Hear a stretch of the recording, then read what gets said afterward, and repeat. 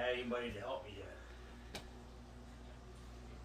So this is the main. This is the main room that you stay in. Yep, but this this is the master. The other one. And yeah, and you don't use the master. Nope. Uh, the only one that uses it is uh, um, my my nurse, Oh, okay. and then I have to shovel it all off and put everything all back on the floor. I see. Oh boy, I ain't answering that phone. Well, if you want to, you can go ahead and answer. It doesn't bother me. I'm turning that light back off. You don't need that on. Yeah, so tenant owned washer and dryer. That is water heater.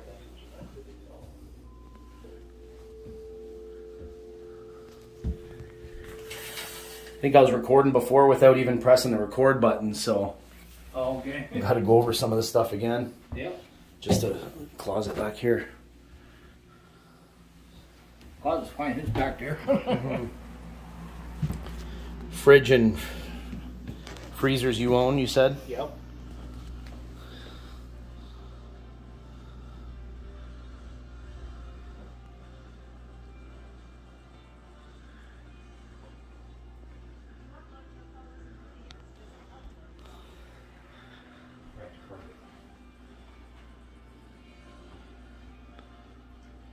As you can tell, there's a whole bunch of drugs on the table.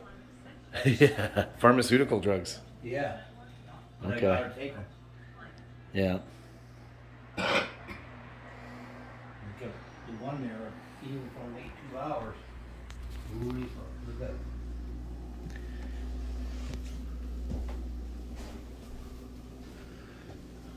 Why do you have two fridges? Yeah, they're both fine. Yeah, but why do you have two?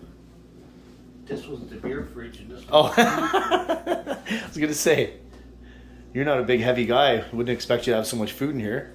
One beer fridge, one food fridge. That's right. Can I? That's can hilarious. you beer? I'm good, thank you very much. All right. Yeah, I'm doing sober October, so I'm not drinking any alcohol Oh, then look out.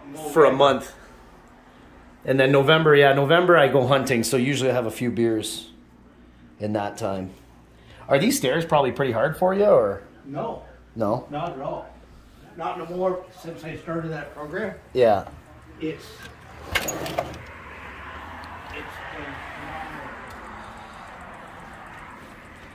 Feels reasonably solid, the uh, porch. There's no give with that at all, me. And yes, I did have the fire department come in and check the barbecue out to be out there. Oh, they did? Yeah? They said that was okay? Yep, they measured it and everything else. The one thing they told me is I can't bring the barbecue tank up through the stairs. I have to bring it up through outside. Okay.